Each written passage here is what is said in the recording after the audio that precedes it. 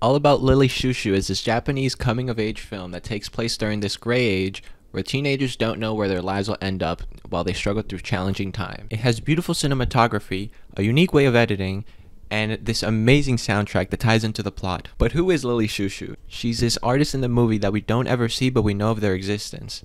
There's this online chat where fans talk about Lily, and we get snippets of that chat throughout the whole movie. From that group chat, we get to see that there's almost a a parasocial relationship between Lily and the fans. The four main characters are Yuichi, Hoshino, Tsuda, and Kuno. And the four main characters in the movie have a unique connection to Lily. As soon as the movie starts, we get to see this group chat, and we see messages from a variety of people online. And in the movie, we find out that the main character, Yuichi, is called Philia. And later in the movie, spoiler alert, we learn that Hoshino is Blue Cat. Those are the two main people that speak in the chat. The movie starts off with an introduction to all the friend groups.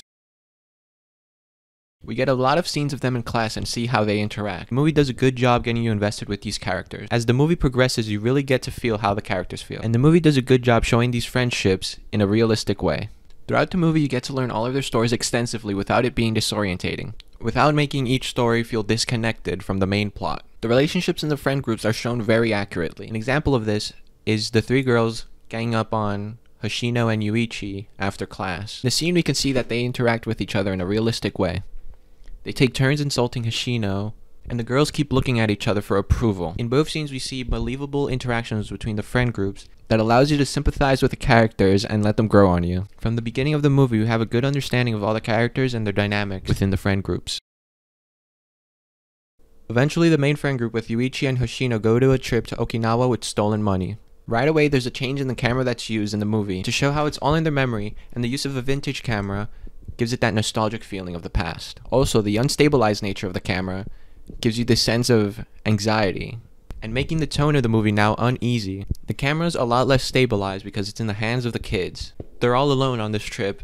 It's their responsibility to be in charge of themselves adding to that idea that they have to be in charge of themselves in this foreign location. They follow a tour guide and have a lot of fun on the island, until one night where Hoshino gets really hurt by a by a flying fish, which could have been a fatal accident. Later on, there's these two scenes where we see Hoshino and Yuichi swimming in the water. There's a contrast between Yuichi and Hoshino swimming because Yuichi's is a lot calmer. He floats at the top of the water effortlessly. On the contrary, when Hoshino goes out to the water, we get this really uncomfortable scene where he is drowning. Eventually, he gets saved by one of the tour guides. Those two scenes are a good indicator of each of those characters' state of minds for the rest of the movie. Hoshino's is a lot more disruptive, while Yuichi's is a lot more reserved and calm. There's this man on the trip that kept randomly popping up out of nowhere and interacted with the group. We see him hitch a ride and get food from the group. In all of his scenes, we get this feeling of unease from him.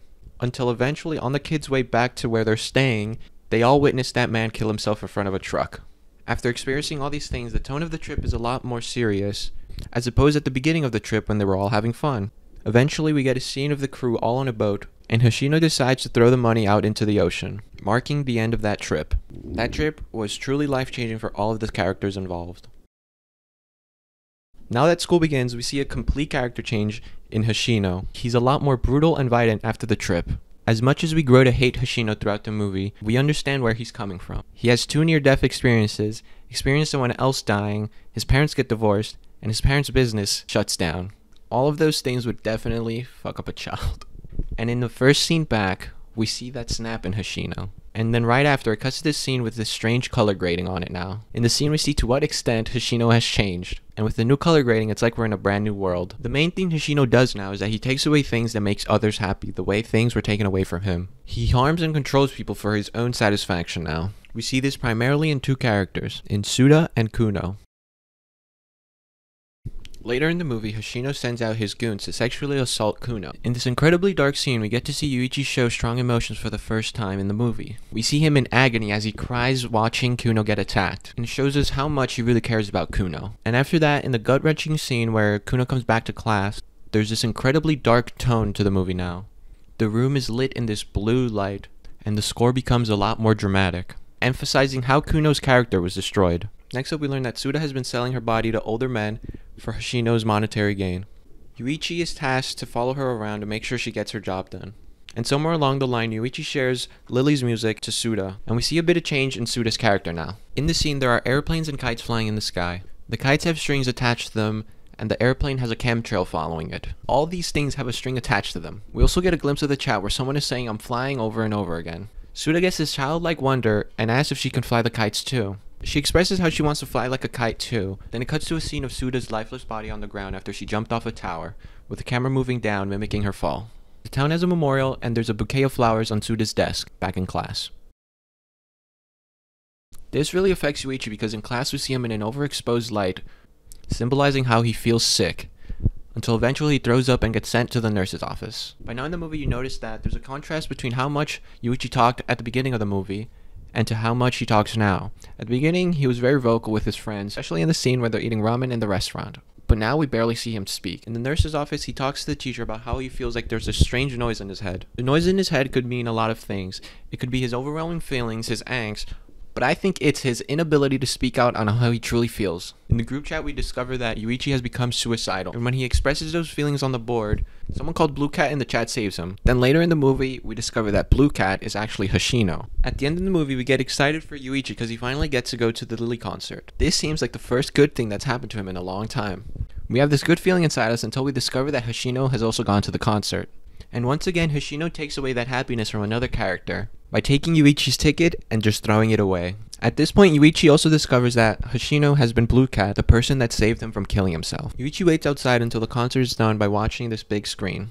And once the concert's over, the crowd of people come out, and Yuichi sees Hoshino in the pack. Hoshino walks by with no remorse of what he did. Once again, we see Yuichi show strong emotions when it's something that truly matters to him. He knows he has to get back at Hoshino. He calls out that Lily is out there, causing the crowd of people to all stampede backwards. And that's when Yuichi gets behind Hoshino and stabs him to death. And in all the chaos, Yuichi can get away. Later on now, back in class, he's talking with the same teacher from before, and the teacher asks him if he can hear that strange noise anymore, but he says that noise is gone. That noise disappears once he gets his life back on track. And the movie ends in this beautifully sunlit room with Kuno playing the piano and Yuichi listening along. Like I said, the movie has a unique style of editing that adds a lot to the ideas and themes of the movie. Here are some examples. Throughout the movie, there's a lot of beautiful scenes with no dialogue and just music, which at many points makes the movie seem like a music video. The volumetric lighting gives all the scenes this dreamy feeling. Another thing that adds that dreamy feeling is the camera's fluid movement. The scene where Kuno is playing piano and it cuts to Ichi in the fields listening to Lily. It shows that parallelism between them.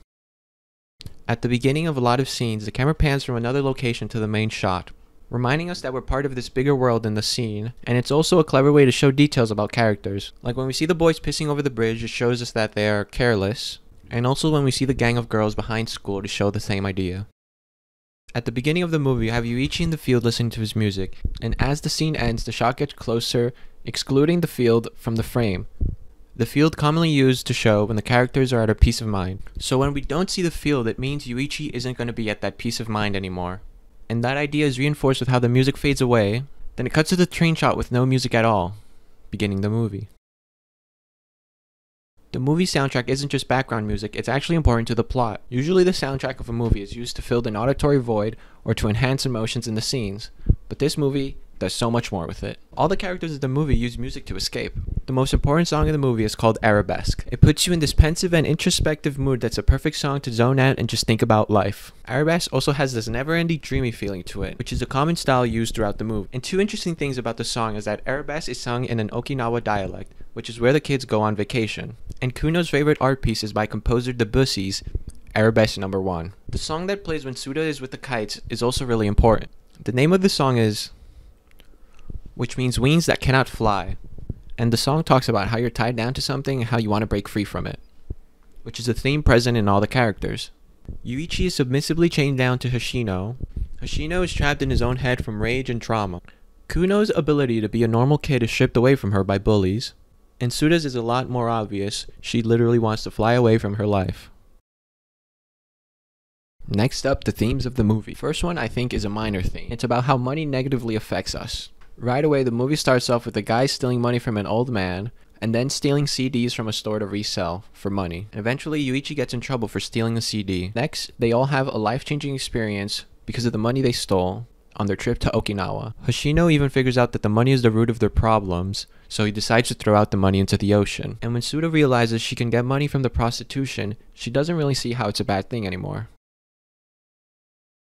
And now for the bigger theme of the movie, what is the ether? To me, the ether is this idea of escapism. All the characters find a peace of mind listening to Lily's music and they say that the ether is associated with Lily's music. Throughout the movie, we see Yuichi listening to Lily's music a lot, and whenever he does, he's in a very peaceful state of mind, as opposed to how dark his life is. When Tsuda gets introduced to Lily's music, it's like her view on the world has changed. She can finally realize how unhappy she is as she falls in love with the music. And surprisingly, Hoshino finds that escapism through the music too. We see him finally releasing a bunch of emotions when he's listening to the music out on the field. And also we see this on how passionate he is in the chat rooms, to the point where he saves Yuichi's life unknowingly while still being a dick to him in real life. And another small detail that reinforces this idea that the ether is a is another word for escapism is that at the concert, when the two people were fighting, people were yelling out, "You're ruining the ether," meaning you break the peace, you ruin the ether. Now, I don't usually like long movies, but this one kept me engaged throughout the entire thing.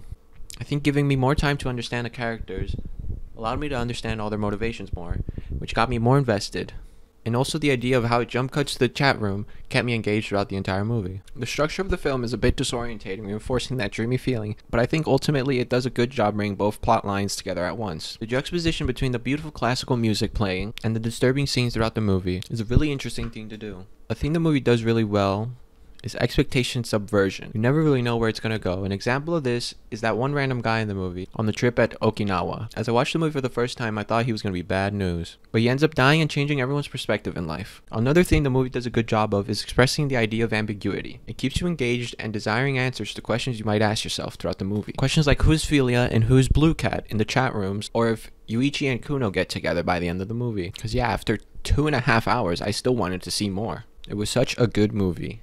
I could only describe it as hauntingly beautiful, subliminally clever, dynamically enchanting, but more than anything else, ethereal.